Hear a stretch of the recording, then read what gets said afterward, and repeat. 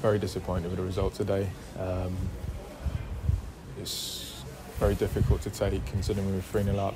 Um, to then go and lose a game 4 3 is just, um, just nowhere near good enough. And yeah, just, just very disappointed. If ever there was a game of two halves, that was it, wasn't it? I mean, talk to us about, about the first, which is the, the bright spot of the day.